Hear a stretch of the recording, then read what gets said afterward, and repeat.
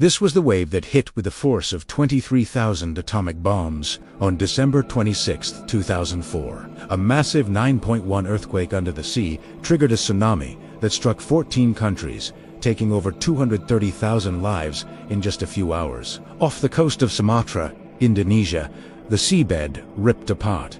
The ocean didn't just shake it, rose into a wall of water hundreds of feet high, releasing energy equivalent to 23,000 atomic bombs. This monster wave raced across the Indian Ocean at 500 miles per hour. Coastal towns had almost no warning. Entire villages were swept away as if they never existed. Indonesia, Thailand, Sri Lanka, India, and 10 other countries were devastated.